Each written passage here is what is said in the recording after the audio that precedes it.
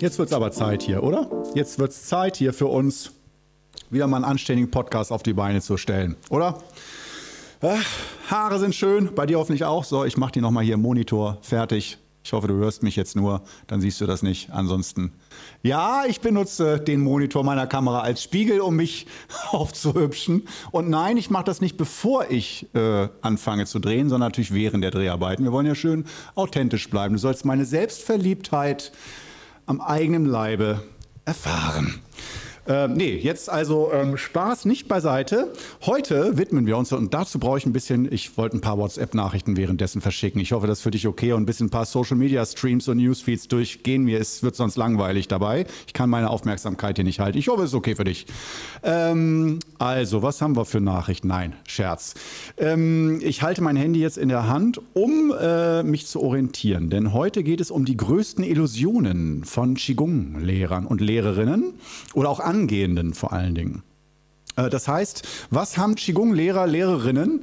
Und ich spreche im Folgen von Qigong-Lehrern ganz faul, damit ich nicht so viel Zeit zum Sprechen brauche. Ähm, ich beziehe aber alle Geschlechter mit ein. Ähm, und vor allen Dingen, die meisten sind ja eh Frauen. Also würde ich mal. Obwohl, nee, bei Lehrern ist wieder ungefähr 50-50, würde ich sagen. Ja, egal. Auf jeden Fall, äh, es gibt riesige Illusionen und äh, Träume, die eigentlich jeder Qigong-Lehrer hat und so äh, Meilensteine. Und äh, ich möchte ein bisschen äh, den Betrug dahinter aufdecken. Ja, heute bin, ist Investigativ Korno am Start. Äh, und nicht, dass die Lehrer Betrüger sind, sondern die Illusionen, die bösen Träume und Illusionen, äh, was man alles möchte und erreichen möchte. Ähm, Gerade auch hier in Deutschland. Und ähm, dass das nicht unbedingt so sinnvoll ist. Äh, mal sehen, wie weit wir kommen. Ähm, ich habe hier mal so ein paar Beispiele aufgeschrieben, aber deswegen brauche ich das Handy immer mal wieder zwischendurch. Fangen wir an mit Nummer 1. Wir gehen mal direkt in die Materie. Ich erzähle heute mal noch genug von mir, denke ich. Äh, da muss ich jetzt nicht noch, und meine Haare habe ich auch schon schön gemacht. Wir legen jetzt mal direkt los hier. Also, Punkt 1, ähm, Krankenkassenanerkennung. Krankenkassenanerkennung. Das das ist so ein Punkt. Das ist ein Punkt, das will eigentlich jeder Qigong-Lehrer, Lehrerin. Das ist, äh, las ich heute erst wieder zum Stichwort Homöopathie, ist gerade wieder zum Zeitpunkt dieses Drehs sehr in den Medien. Nur Placebo, alles Quatsch und so weiter. Äh, das besprechen wir heute nicht, ob das Quatsch ist oder nicht. Das lassen wir offen an dieser Stelle. Ähm, nur, ähm, dass Homöopathie teilweise oder ziemlich von vielen Krankenkassen anerkannt und unterstützt wurde. Und ähm, dass da noch mal allgemein davon gesprochen wurde, dass sozusagen die Krankenkassenanerkennung ein Ritterschlag für eine Methode ist. Dass also, wenn du es erstmal geschafft hast, dass du von Krankenkassen anerkannt bist, dann hast du es geschafft, dann bist du etabliert. Dann ist der goldene Honigtopf offen, dann ist deine Qualität gut, dann bist du integriert in die Gesellschaft, dann, dann bist du einer von uns, wenn du Krankenkassenanerkennung hast. Um es nochmal kurz zusammenzufassen, du brauchst dafür normalerweise ein Studium der Psychologie, musst Arzt sein oder einen pädagogischen Beruf haben. Also das schon mal. Musst dann auch äh, an anerkannten Ausbildungsinstituten, du darfst nicht in China zehn Jahre lang Qigong lernen, das zählt nicht, da bist du nicht gut genug dann im Qigong. Aber wenn du ein, zwei Jahre lang in Deutschland, in Hamburg oder äh, München oder so an einem anerkannten Institut von der Deutschen Gesellschaft für Qigong oder so anerkannt, ähm, geprüft, ähm, zertifiziert bist äh, und da eine Ausbildung gemacht hast, zum Beispiel bei mir im Qigong Club kannst du nicht eine Ausbildung machen, um bei der Krankenkasse anerkannt zu sein. Die sagen, Korno, wer ist das? Da kann ja jeder sagen, er würde Qigong-Lehrer ausbilden. Das ist nicht von uns äh, abgestempelt und abgesegnet. Aber um direkt darauf zu antworten, ich lasse mich nicht von Leuten abstempeln und absegnen, die überhaupt keine Ahnung von Qigong haben. sondern dann nur gucken, äh, hat der einen Lehrplan, hat der 500 Stunden, äh, hat der 400 Stunden, 250 Stunden Ausbildung, dann ist er gut völliger Quatsch für mich. Was haben 250 Stunden Ausbildungszeit mit meinen Qigong-Fähigkeiten zu tun? Also bitte. Aber das sind halt, wie sollen sie es auch anders machen? Ich will auch mal äh, dem deutschen Bürokratentum zu Hilfe springen. Wie sollen sie es auch, irgendwie müssen sie es ja regeln und es ist ja auch gut, dass nicht einfach jeder, man kann ja wirklich alles, alles erzählen und sagen, ich bin der Großmeister und ein anderer soll dafür zahlen. Ähm, nur das ist nach wie vor so ein Ding, Krankenkassenanerkennung, das habe ich auch schon durch, das Thema. Äh, ich hatte damit eigentlich schon fast aufgegeben, habe dann aber mal bei einem Gesundheitstag der Barmer damals noch nicht Barmer GK, sondern Barmer Barmer.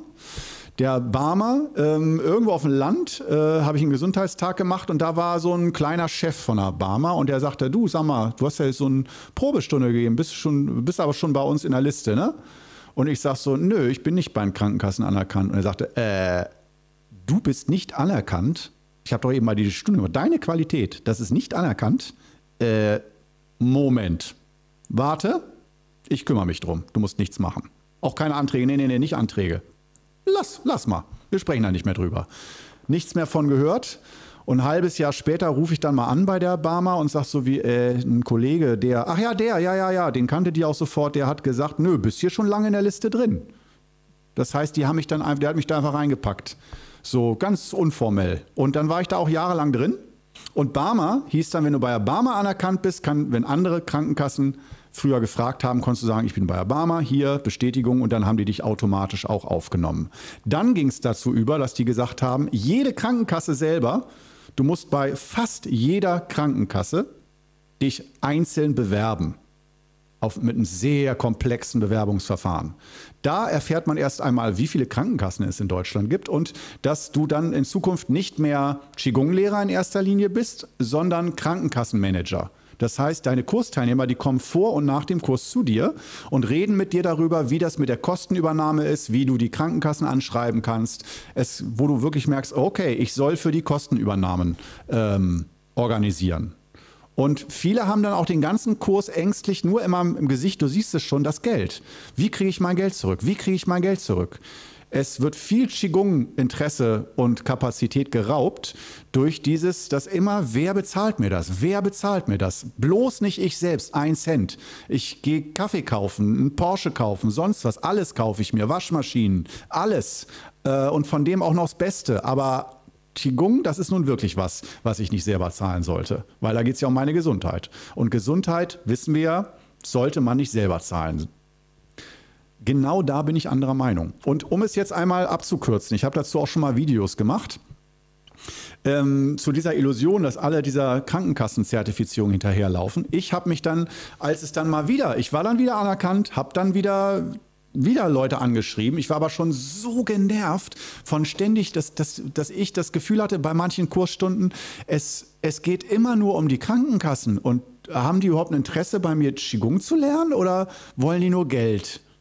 Ja, gefühlt. Ich war da wahrscheinlich auch ein bisschen getriggert, hochsensibel, aber wirklich Hals. Ich hatte Hals.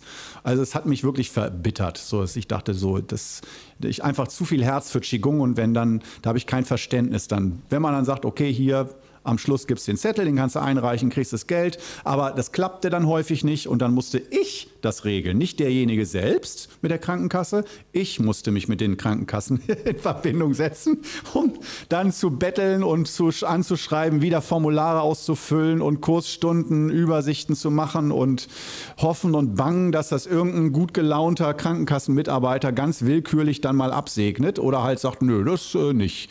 Da ich aber kein aus, abgeschlossenes Studium habe, weder als Pädagoge noch als Arzt noch als Lehrer, äh, noch, äh, ja, noch als sonst eine anerkannte Berufsgruppe, habe ich sozusagen eh gar keine Chance, egal wie gut ich Qigong mache, ob ich das 30 Jahre lang im Kloster gelernt habe. Es wird hier nicht anerkannt, weil die sagen, nach unseren Maßstäben hast du keine Ahnung. Das darfst du nicht. Du musst, wenn du Psychotherapeut bist, dann bist du ein besserer Qigong-Lehrer. Dann wird das anerkannt, als wenn du 20 Jahre lang in China gelernt hast. Dann, nee, das übernehmen wir nicht. Äh, weil das ja unseriös ist. In China Qigong zu lernen, unseriös. In Hamburg oder München am Institut das schulisch zu lernen, das ist da, äh, kommt am Ende Qualität bei raus. Das unterstützen wir. Weißt, und bei so einem Denken, da bin ich raus. Da bin ich wirklich Rebell und Systemsprenger und sage mir, macht doch euren Scheiß alleine. Da ist wieder mal Korno als Rebell. Ich bin da auch nicht, ein Teil von mir sagt, Juche Korno genau richtig, so macht man das dann auch. Ein Teil von mir sagt aber auch Korno, ja, das ist wieder ein klassischer Korno. Kann der nicht mal ein bisschen entgegenkommender sein und dann mal nebenbei noch einen Heilpraktiker machen und noch mal Medizin studieren nebenbei, damit das alles seine Ordnung hat?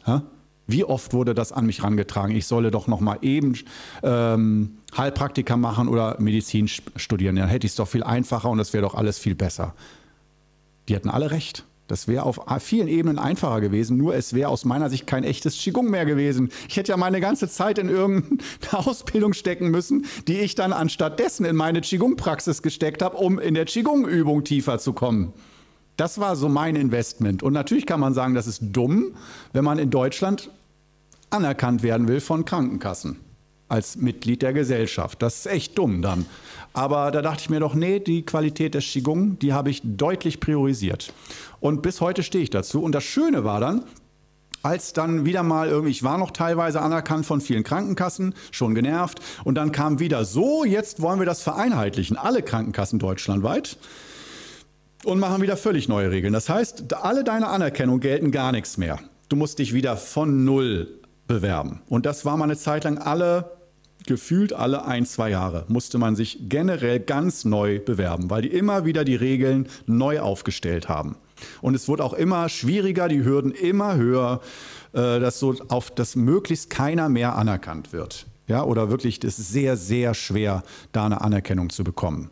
Und da habe ich dann gesagt, nö, weißt du was, diesen Stress und wenn sie mich alle verlassen und ich zum Schluss obdachlos auf der Straße sitze und da alleine Qigong mache bei Regen und Sturm, will ich nicht mehr, mache ich nicht. Nee, ich mache keine Krankenkassengeschichten. Wer sagt, wer bezahlt mir das, dann sage ich du. Du zahlst dir das selbst.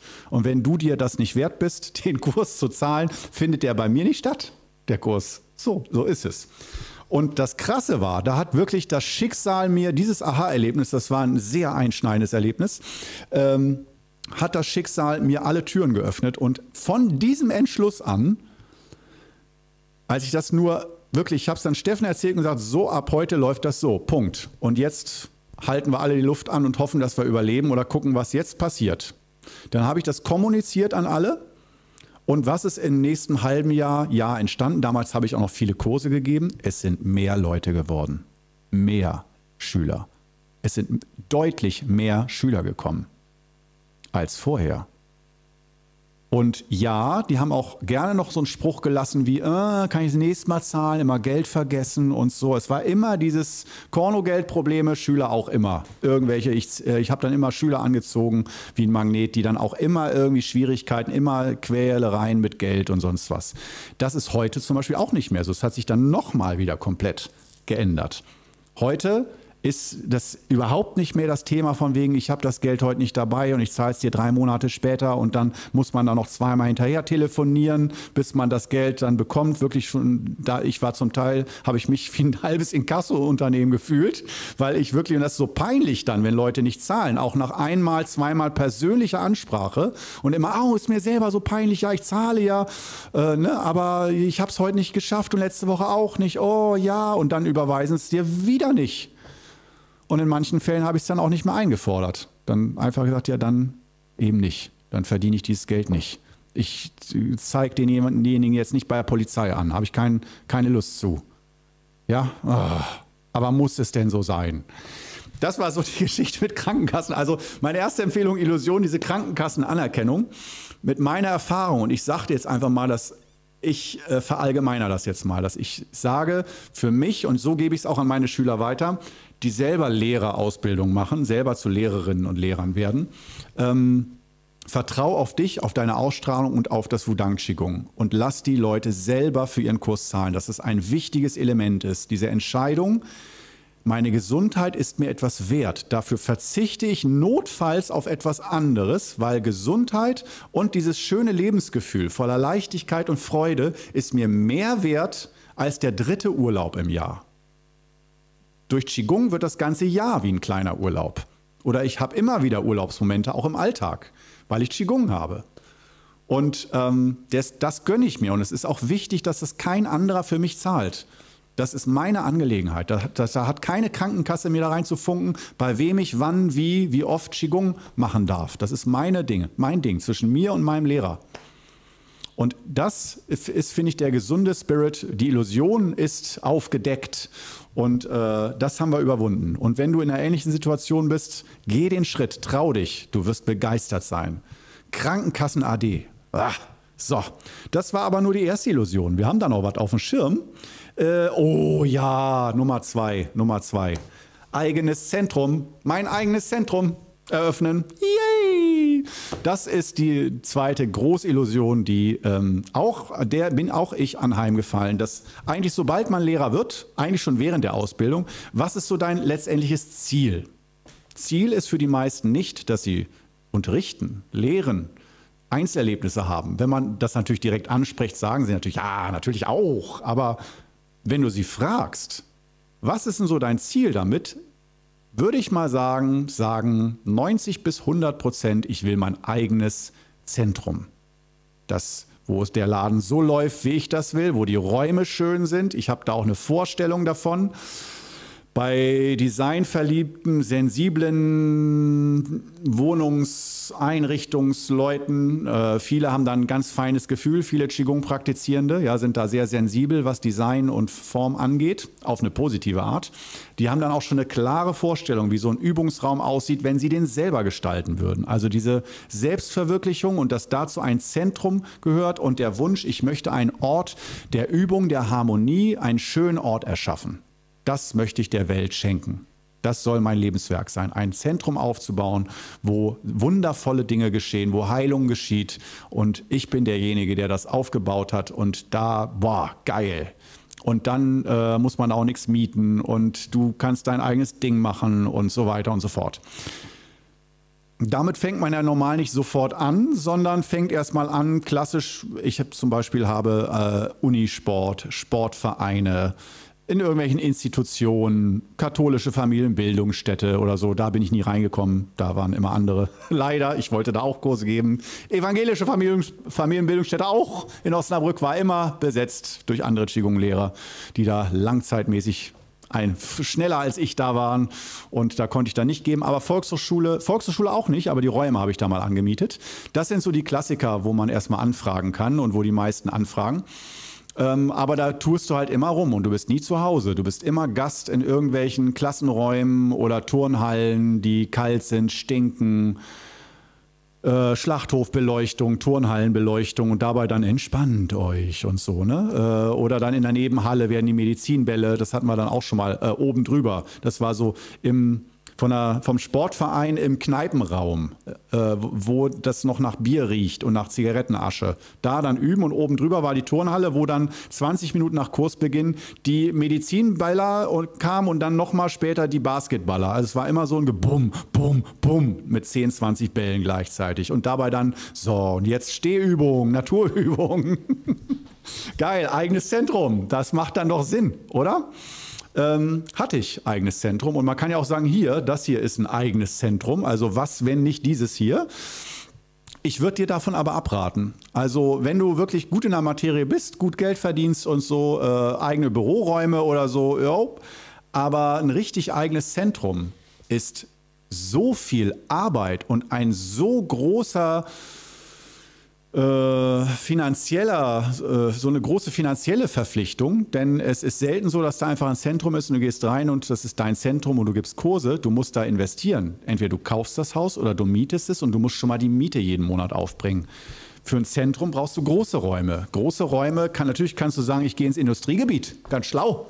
Nur wer fährt dann immer zu dir ins, in, ins Industriegebiet? Nicht jeder. Innenstadt ist schon nicht schlecht dafür. Oder ne? gut erreichbar mit Bus und Bahn und Autos oder so. Und äh, dann find mal was dafür, was dann die Atmosphäre hat, was die richtige Größe hat. Da habe ich jahrelang gesucht und dann hier um die Ecke in Osnabrück einen Raum, den damaligen Kursraum, gefunden. Äh, der hatte wirklich alles, was er brauchte, aber es lief nicht. Und es war dann nur ein, ähm, ein dem Geld hinterherlaufen, der Miete hinterherlaufen, die zusammenzukriegen, um ungefähr bei Null rauszukommen. Das habe ich dann an Steffen abgegeben. Der hat dann äh, den Kursraum äh, übernommen und mit dem Ziel eigentlich da den unterzuvermieten, dass man sagt, es ist ein toller Kursraum, den können alle Leute, Tanzkurse, sonst was, geiler Raum für Meditation, Sport, sonst was. Also nee, Sport jetzt nicht, aber Tanzen und Meditieren und Yoga und sowas. Aber da waren auch ein paar drin, aber das hat sich alles nicht gerechnet. Das war nicht Steffens äh, Beruf mit Leib und Seele, diesen Raum unterzuvermieten. Und daher hat er da viele, sogar auch jahrelang draufgezahlt, Steffen, als ich den Raum abgegeben hatte. Und jetzt hier trägt sich das einigermaßen ganz gut, dieser Raum hier. Äh, der ist allerdings auch sehr klein. Also der andere Raum war zwei bis dreimal so groß, würde ich sagen, aber auch zwei bis dreimal so teuer.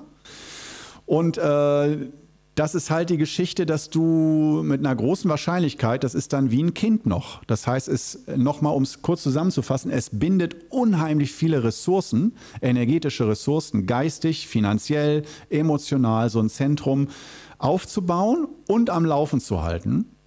Und du darfst nicht vergessen, dein Job ist eigentlich ja nicht Zentrum aufbauen, sondern Qigong-Lehrer, Lehrerin. Das ist nicht der gleiche Job. Da zweifelt dann man manchmal dran, wenn man ein Zentrum hat, ist mein Job überhaupt noch Qigong-Lehre? Und dann äh, geschieht es, wie ich es bei mir erlebt habe, aber auch bei anderen, von denen ich, die ich, wo ich wusste, die haben auch ein Zentrum. Du siehst das fast in deren Gesichtern schon. Das ist so ein ganz spezieller Stress, der in den Gesichtern steht, so ein Zentrum zu haben. Wenn du genau hinguckst, äh, Leute, die ein Zentrum haben, selbst wenn es gut läuft ähm, die müssen ja auch oder wollen ja auch Kurse geben. Und auch in den Kursen merkst du das, dass die zum einen da, ja, als Kursleiter da agieren, aber auch immer als Zentrumschef immer im Blick haben, werden da keine Getränke verschüttet auf dem Boden und, und, und. Ja, das ist... Äh, man ist sozusagen in mehreren Rollen gleichzeitig und ich finde, das ist, das ist wie Gift für die, ähm, wenn ich jetzt mal es für Qigong äh, auf Qigong beziehe, für die Qigong-Kultur und das eigene Qigong und auch die Qigong-Lehre. Weil zwischen dir und den Schülern, da sollte die Verbindung sein, wie ein Rohr. Ja, stell dir das vor. Du bist mit einem Schüler oder mit einer Gruppe verbunden und diese Verbindung, durch dieses Rohr schickst du Informationen durch. Qigong oder Gefühl, Energie. Und das wird, dieser Austausch zwischen dir und deinen Gruppen, dir und deinen Schülern, wird aus meiner Sicht krass gestört durch ein eigenes Zentrum.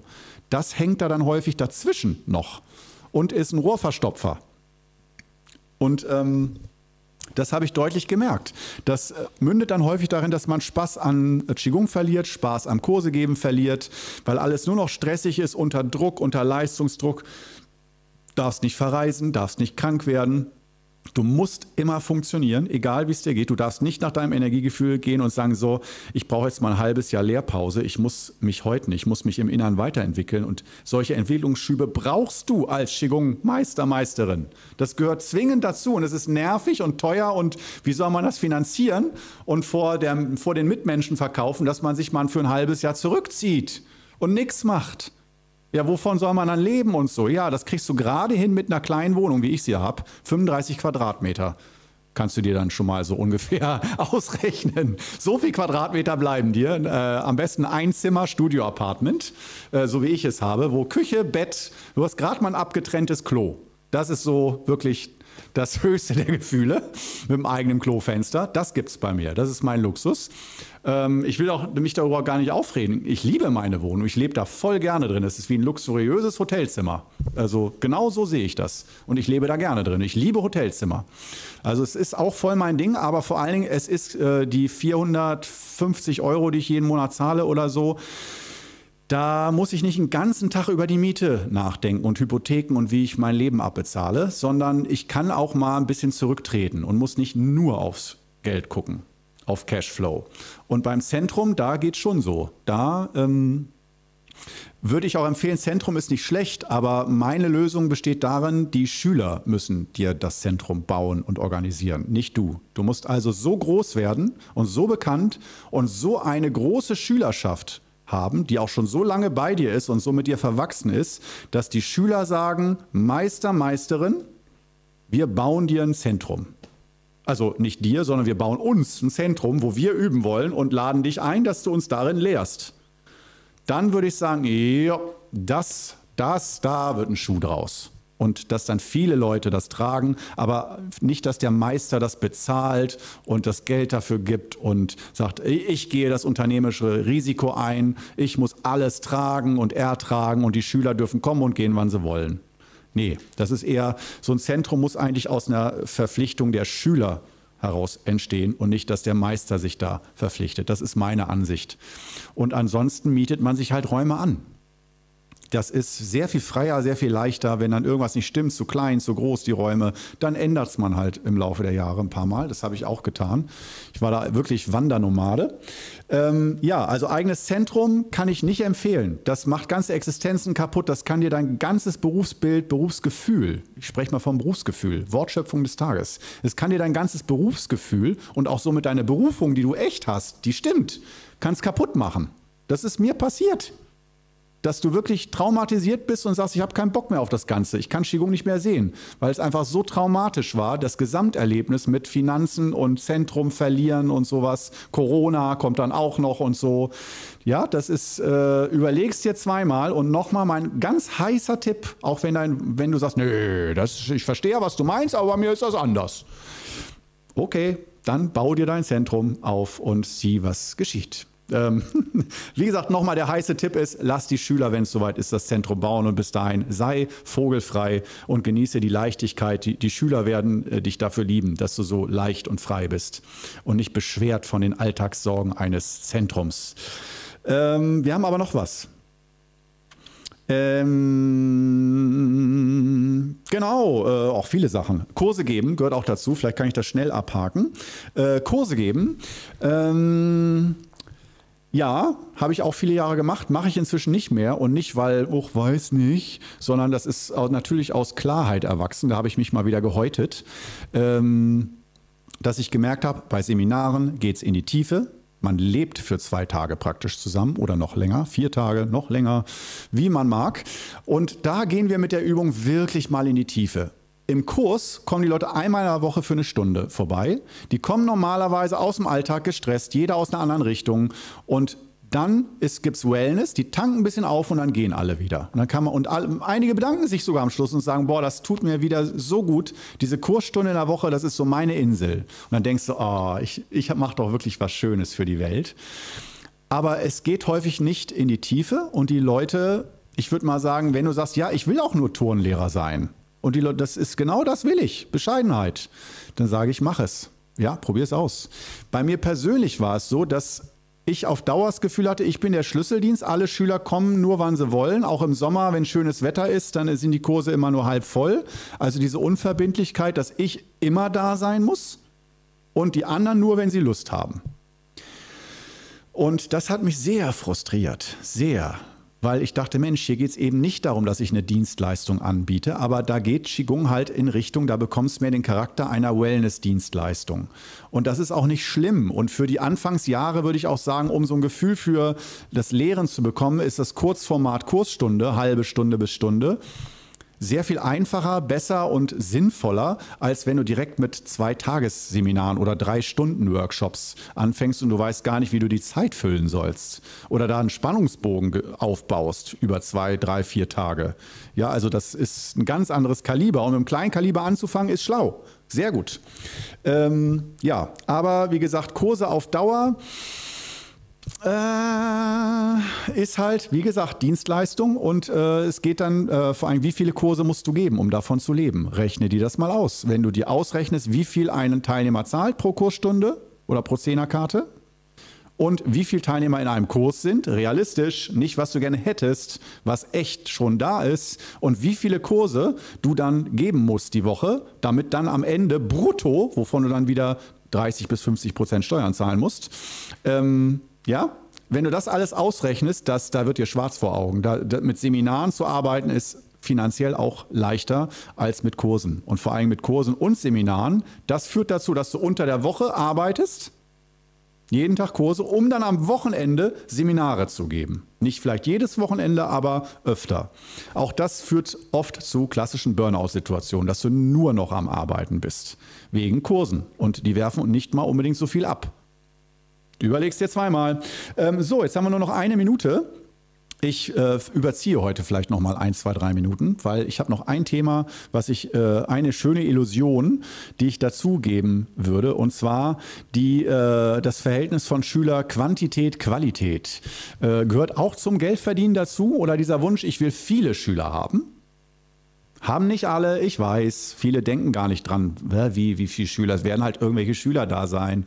Aber wenn man das ernsthaft betreibt, dann muss man sich auch mal Gedanken machen, wie viele Schüler brauche ich denn, möchte ich denn, womit fühle ich mich wohl? Oder wenn ich wirklich auch Geld verdienen möchte damit als Beruf, ähm, was, wie viel brauche ich denn dann, dass das so hinhaut einigermaßen?